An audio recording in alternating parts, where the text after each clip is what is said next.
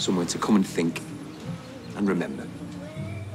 For thousands of years, across many cultures, people have planted trees in memory of loved ones. And now Oliver is part of that great tradition. You saw.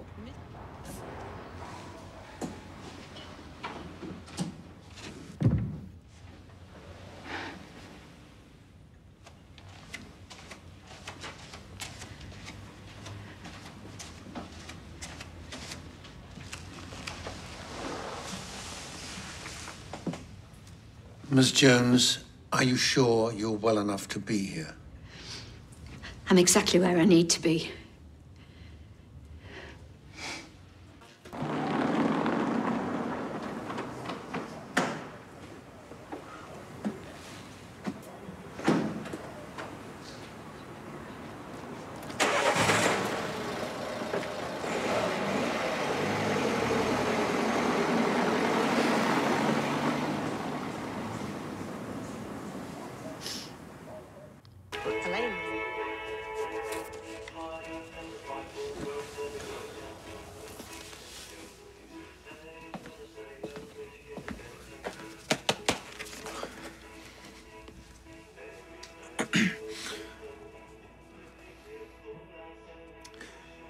Throughout the course of this trial, we've lifted the lid on a marriage.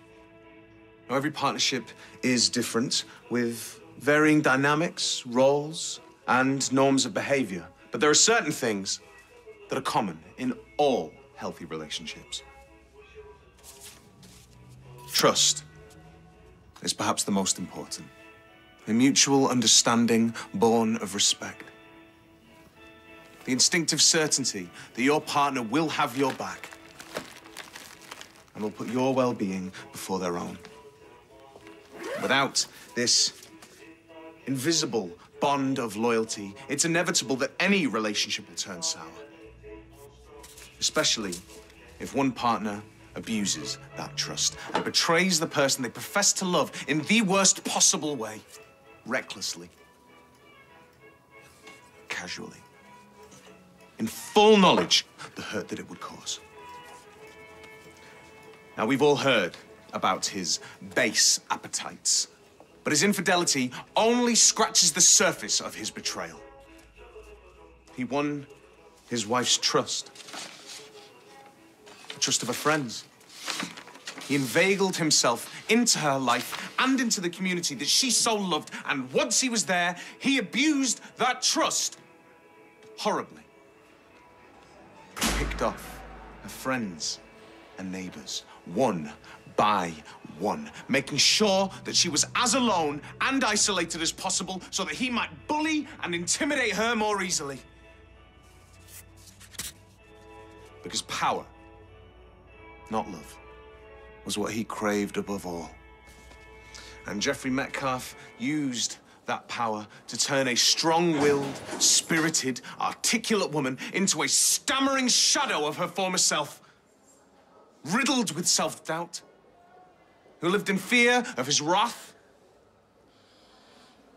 and then ultimately for her life.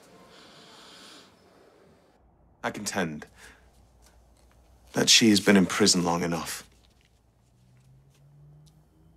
So I urge you to set her free.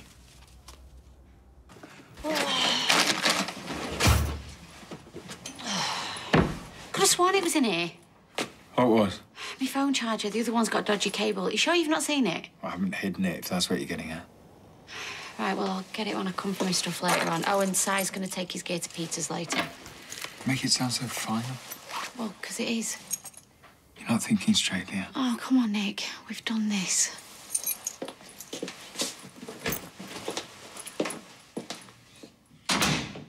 Can't believe you're going. I wonder why we're kicking off late. Maybe the judge just forgot to put his heated rollers in. Yeah, it's probably a good sign.